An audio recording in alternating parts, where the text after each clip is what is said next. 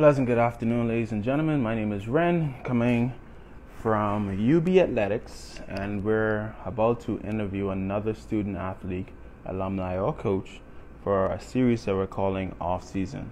What is off season? It's what exactly says it is. It's what we did when the world, country, and sporting arena shut down. So this evening we have the one and only female extraordinaire, Raven and she is on time. Dope. That is. I gotta ask if, if this is coaches have them doing for judo. Like, she on time, on time. Like she's the first one to sign in on time. That's deep. But shout outs to Raven. Raven, how are you? Okay. You were literally the first one to sign on. Like you was ready for this. Thank you. Say it again. I was scared. I was scared because you had a dope like background, or gold, like your medals. all right, so let's do a sound check. I, I hear a little breaking up. Speak for me. Hello. Okay, I can hear you. Okay, so without further ado, this is your off season, and how how does it feel to have all this time off in the world? How it feels? And again, it gives you time to time to but it's breaking up a little. I don't know if it's me. I, I need to test it. Um, ladies and gentlemen, I want to make sure y'all could hear us. Speak again. I want to make sure they can hear you. If it's just me, that's fine. Hello? Can you hear now? Is it better now? All right, I'm hearing you. I want you to just say A- ABCs. Just say ABCs. In, in no other reason. Standard sound check. A B C D E F G H I J K. All right. All right, we're good. So again, um, we're in. You know the status. Everybody knows the status of the world. But lockdown. Um, how does how how are you? How are your family? Well, we're good. Everybody's safe, so it's not really. It just this quarantine just brings us all together, basically. Like we, yeah, we find things to do in the house to actually like interact, other than just being we we about to kill each other in this house. So shout outs to my mom and my, my sister, but it getting it getting rough, you know, Yeah. it getting rough. Like the other day, nobody wanted to wash dishes, and it's all about having stance, you know. Like let's see who really run this. Sorry. This is the end of me, honestly. I'd pay someone to do my dishes because for a house like this, mm-mm. Oh man. So let's get right to it, man. So the first question I want to know is when did your passion for judo begin? And is judo the only sport you can play or were there others? well, uh, initially my first sport was soccer. I started off playing soccer from grade five, so I was about nine when I started playing, and then it was from nine years old straight to sixteen, and I ended up ended up um, trying out for the national team for soccer. So it was like a that was my initial sport that I used to do. Um, it was field events for track. I did softball also for about three Which field which field events? Which which field events? the field events like shot put, long jump, and it was javelin. Hold on now. Shot put, javelin I get, because you know you be throwing them lows up in judo. But long jump, you'll get a long jump as well. I wouldn't say, and I mean, you know, just to like participate in BAISS and stuff like that, then that's. Mm. But like javelin and shot put was more of it for you. Okay. So you're Yeah. doing shot put, javelin. So when did judo come into all this? Um, so when I graduated from high school, I still wanted to be uh physically active. So I was in part with the Rangers, the Royal Bahamas Defense Force Rangers program, and the judo, the Bahamas Judo Federation came into contact with our program and were looking for individuals to participate in a summer camp.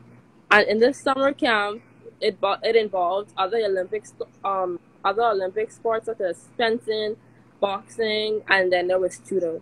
So it caught my interest because I still want to be um a part of the sports life, still want to be an athlete, rather just uh graduate and on the 10th year of school, I said to myself, okay, let me try something. And I went ahead and I gone into the um, program, the little summer camp that they had, and it turns out I kind of was good at it. It wasn't like you were good at beating up people. Is that what you're telling me? Um, I have a pass. Like, but you don't have to tell us. You don't have to tell us. That's your secret. Uh, yeah, I have a I have a pass. My father is a second degree black belt in ninjutsu. Okay. So, yeah, I have I have experience with self defense. And then when judo came along, I was just like, okay, let me just take the martial art lead into that circle right there. So you didn't only have a pass; you had an advantage. Yeah. You, you, you kind of preview to it, you know. Daddy could be like, lift, lift, lift your foot up, girl. Lift your foot up. A little one and two, you know, something extra. That's cool. So I'm hearing, which high school did you graduate from? Just for the audience know. That's Jordan Prince Will. Right. All right. Dirty yeah. Birds. Yeah, yeah, we know the Dirty Birds. Yeah, yeah, yeah. Let's move on. Um, so you finished with Jordan Prince William. You're moving into no dis- disrespect to any Jordan Prince William. Last time I did that, a lot of people DM me like, try it again. So I apologize. But you're finishing with high school. You're transitioning to college. Did you go straight into college or to the College at Bahamas? And did you have any aspirations to probably go abroad? Um. So my initial plan was to go ahead university, well, well college the Bahamas at the time, for about a year and then go off. But then as I like continued my semesters at College Bahamas, I was like, cheapest I just, you know, finish it. Let me just finish this aspect and then move on when I wanna like as soon as I get this degree, I go into something bigger. So, mm-hmm. And and in that process, I this ghost, this ghost, is he a family member? I see you smile just now say? Yeah. Well, no, he's one of my friends from Grenada. Okay. All right. Shout out to Grenada, not Mego, not in Parat. Um, but um, so you're you're in college, you're in COB, and then there's this announcement. Well, actually, no, you skipped a few things. Didn't you go off and compete for judo? Didn't you do some stuff for the country? Ooh, so I did a lot of things actually. I participated in the very first Carifta held for judo. I placed gold in that, and then we had other um we have different tournaments from abroad like the U.S. Open, and we had Florida Open, and each one of those I could say I medaled in, but as I came to the university, it was more of uh, outreach. We go on to further places, reach the other judokas around the world. It was quite an experience. I could say the furthest that I have been was California. Okay. Yeah, where I did place third in a division that I just was encountered with. Like I wasn't used to this division. This is my first time in this division, and yeah, it was interesting. So you're a natural fighter. You have done it before, but you also mentioned that um, the traveling experiences that you had through the University of the Bahamas were a little different than those before. Tell us about that. Tell us about maybe the transition, the weekend transition, you know, like finishing class on Thursday, getting on a flight on Friday. Tell for any audience or any young lady who's probably watching you, tell us about that experience of traveling abroad with the University of the Bahamas. Okay, well, traveling with the university was well, the places that they got us to compete at was first of all amazing because you know they're really far out there. And when it came to schoolwork, I would uh, come into contact with my lecturers, let them know what it is I'm going through because they know already. But you know, it's good to brief them, let them know, and with that, they would allow me. Well, most of them, they would allow me to either complete my assignment ahead of time or try to do it whilst I'm at the meet. So like when I come off the plane and we get into the hotel and everybody's supposed to be like resting, I would go on my um laptop because I bring it with me on my iPad and then I'll try to do some work there and then wow. try to interact because like you don't want it to be where you come back and then there's a test and then you aren't ready for this test. It's because it, it's like that sometimes. It ha- it had happened to me like a number of times before. Yeah. So where where did this balance come from? I think that's a lot of dedication. I mean, you're on a you're on a trip, um, maybe in Texas, California. I don't know, even South America. Y'all go everywhere, right? But you're on a trip. you're competing, and the first thing you do is make sure that your grades are right. Do you think that assists with maybe um, a little bit more of your mental stability as you go into to the competition? Well, I I do it. I think it does actually. And then again, um, I was a high school athlete, so I did at the balance both school and athletics, and then mm-hmm. going to college with where it was even harder.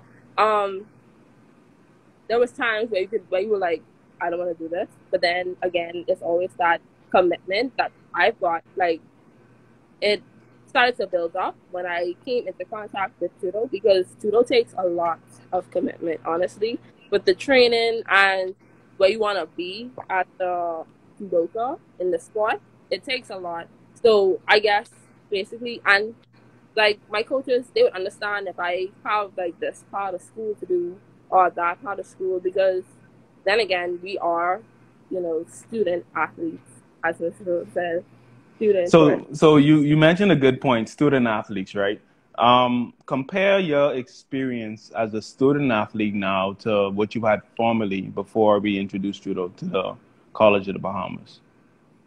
Wow. Um. So it was kind of hard to talk about the lectures. So like, if we had like a meet over the weekend, it wouldn't be no leeway as it was for student athletes when it came to us having to travel because it was before I was still in judo, and when I was in the university, they would allow us to.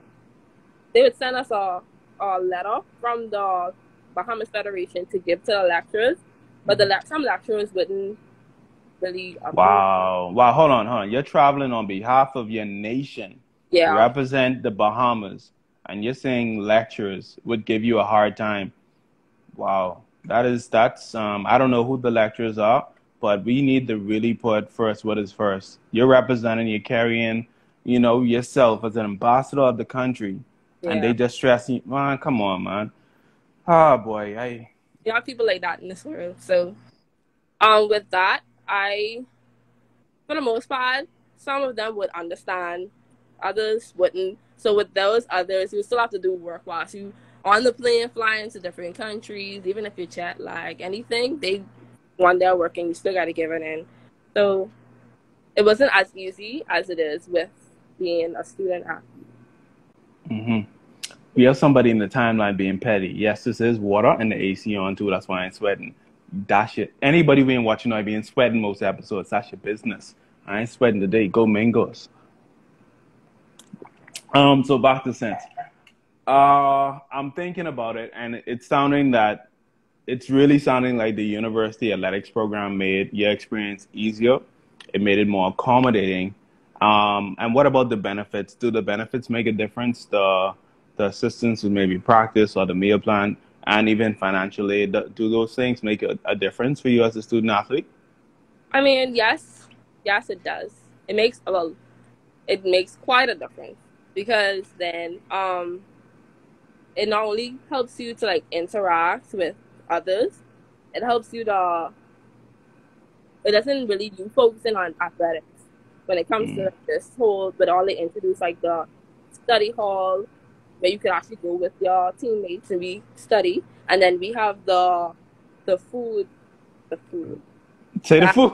Say the food. The food. Yeah. I don't. It's a competition. It's you, Kendrick, and and Piggy. All three of y'all. When it comes to the food, y'all two switch. Like it's just I mean, that is that is help. Saving you some money, and then you know when you come into school, you already got yourself a meal, so you don't have to worry about that side of the the day. So mm-hmm. yeah. So give us a give us a, a insight into the daily routine. Give us one of those busy schedules with practice. How how would your day go? Wow. Well, practice has adjusted. Um, but usually, whilst when we first um began this in cooperation with the university as judo being a new sport, we would train really hard. We would train in the morning, so we would wake up 6 a.m. We'd have to meet at the dojo. We'd do training, probably run mm-hmm. around our Bailey Park, and then after training, we go to school. We have our regular school, and then at 6 p.m. we back at the dojo and we working, working, working until about 9 p.m. and then it happens all over again. So after nine, you do your school, whatever homework you have, whatever readings you have, and then the day starts over. So it was quite busy. Now I'm curious. Judo is a, a sport that that takes agility and strength, right? So is there a time when the team goes in the gym as well? Yes. Yes. Hold on, the wait. Hold on. First of all, your tone changed. Your whole voice changed. You was like, Jim. I think um, when it comes to go and it even it being an individual sport, it's still group. Like everything we do is group, and I guess it's because of the dojo that we have that we have. We all focus on family, so it's not just oh judo the sport. It's judo is life. That's how they look at it, and that's how they enforce us to look at it. So if we go to do judo, this place we got to do it as a team. If we're gonna do weightlifting, we got to do that as a team. And even if it's just females and males, you want to make sure that everybody is participating together. So we do have like our designated gym times throughout the mm-hmm. day. So yeah, even before we go to, we have gym, then our evening training, and then it starts over again. So you've now been with us for three years. I feel like it's four or five, but I get no three years and you've you've grown from you know Raven freshman to Raven a team leader, and the team has even changed. You know, it used to be male and female, now it's only female. Talk about that transition and and uh, and what what the team is doing now and how you feel about it as now you're a leader. Well, I feel as though the team, um, even though that we might be small in number, I think that's a bit temporary because you know as we introduce judo more to the island, it becomes more of okay, I'm interested in this sport, let me try it out. So we do have like a lot of people that are interested, they are trying to make our national, you know, expectations. So with us having the female team, um, I would say it's a bit more competitive because we have some females in the same division, some in other divisions, and then we know having to fight these people when we do like randori or practice fighting, we be more um we be more what's the word? Like we ready condition.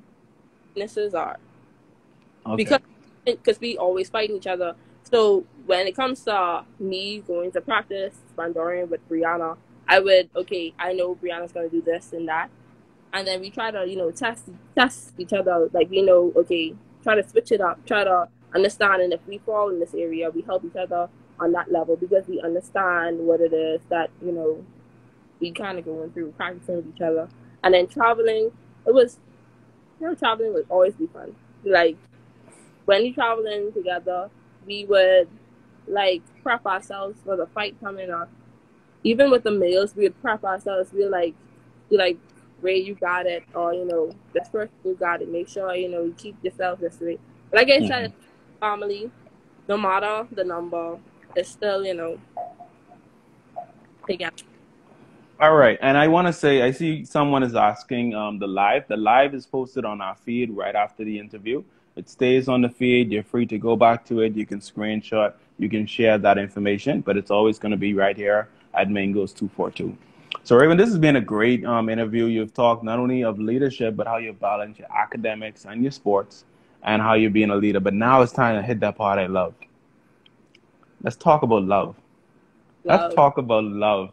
You okay. know, let's talk about loving people. Let's talk about loving persons around you. Let's talk about loving the spirit of the Mingo raven. That's what we want to talk about. You have a good athletic spirit, and you're one of the first students who ever came to a sporting game. It was my first homecoming and you had your mango skin, and you had pride and you were shouting, where does this spirit come from?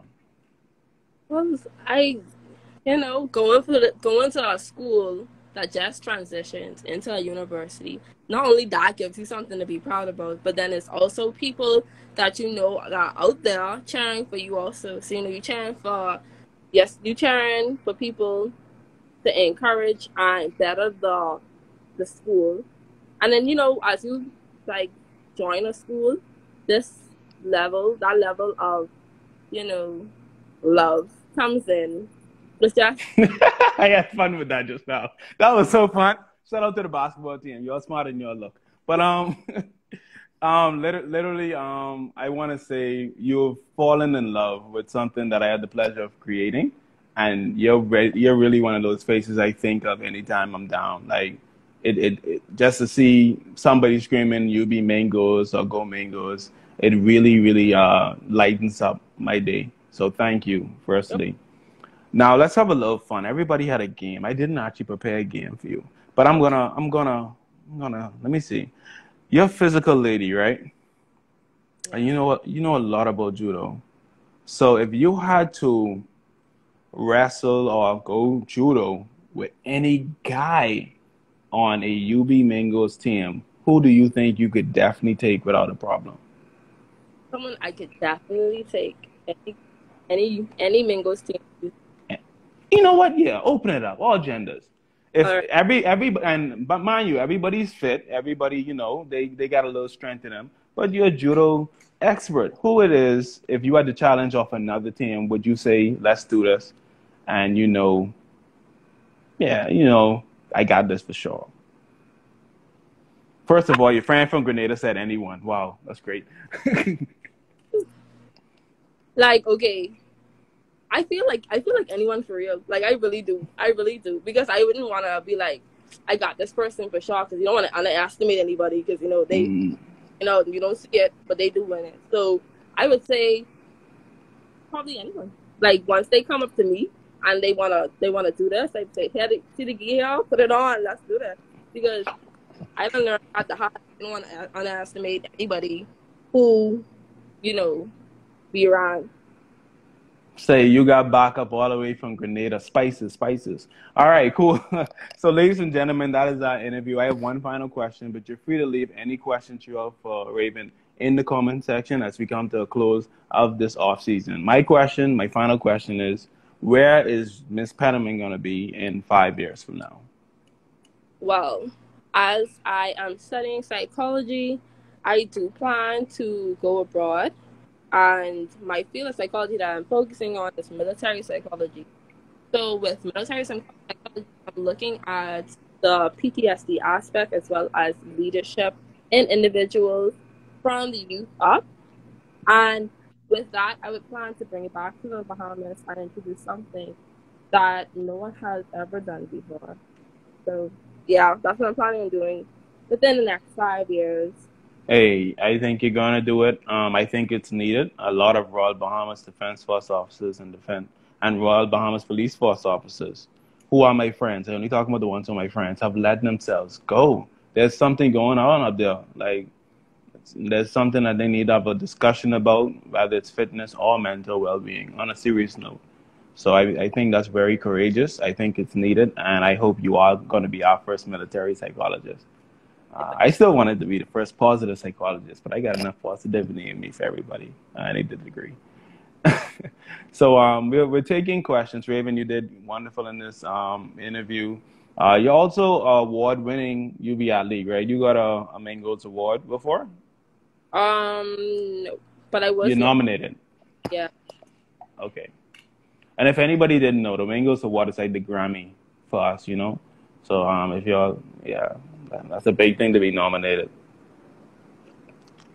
So we have a few people in. We'll take some questions. If no questions, then definitely um, I'll let you give any final word about recruitment. Um, you're doing a lit job. It's only compliment. Like everybody has something positive to say. Come on, give a questions, man. While we wait for them to give you a question, my my thing I'm thinking of is what advice would you give any young lady looking to be recruited by the judo program at the University of the Bahamas? Well, first of all, try out because like that's probably the most fearful for most people to do. When they see us throwing each other, then they'd be like, "Oh, that's not me. I'm not gonna try it. I'm not gonna learn how to do that." So, yeah, once they once they are determined, they put their mind to actually going ahead to participate in this sport, then you just take the baby step, find out who's in charge of it, then you as soon as you find out who's in charge, even if you don't know what you're doing, they mentor you. They let you understand what it is that you need to be doing from what it is like y'all what you're supposed to be eating from it's like from the inside out. And it's also like a way of life. It's just a there's certain things that you should be doing. First,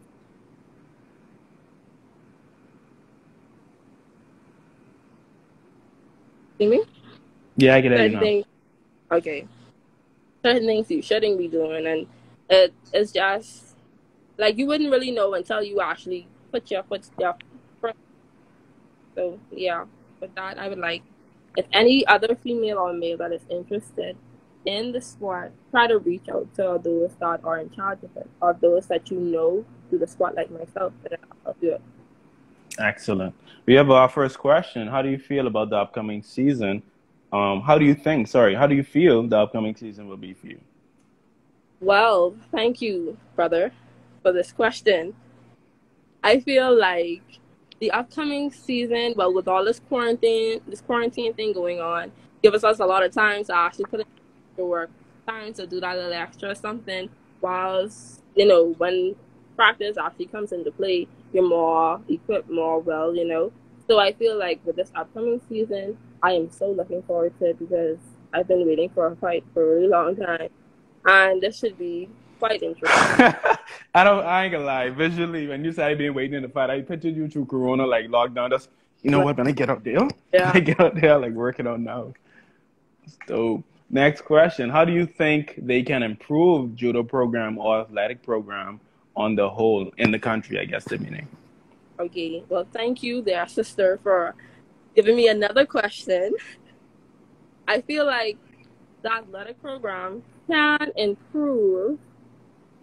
Um, I mean, basically, what we're suffering from is the fund, and I, I don't think that's something that they could improve in.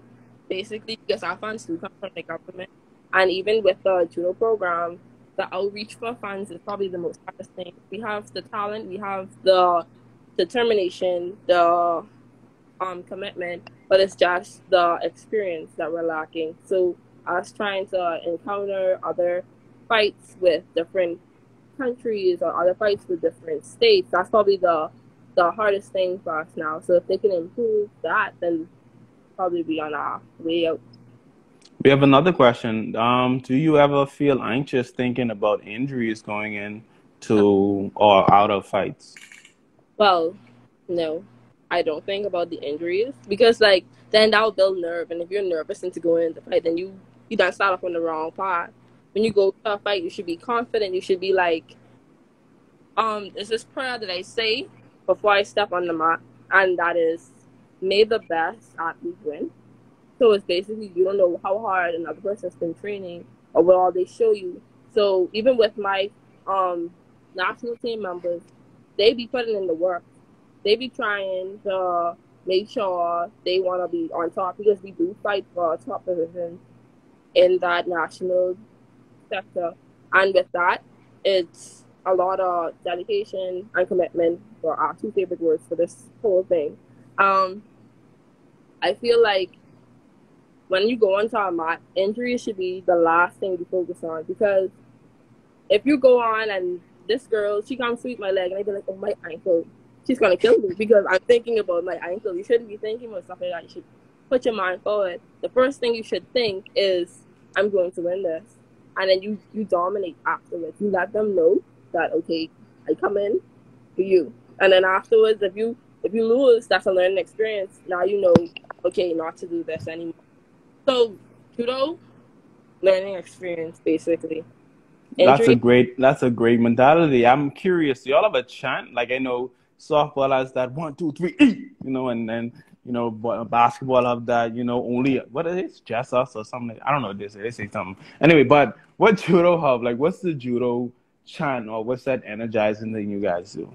So, well, when we were training for the junior worlds, our um coach, Sensei Onasti, he would give us a chant that they came up with, and he would said he would say judo, and we would say it's life, and he would say judo is life, and it's just something that they they wanted us to like a mentality they wanted us to grow into, where we'd say judo is life, and if anybody has something to say about it, just tell them judo is life.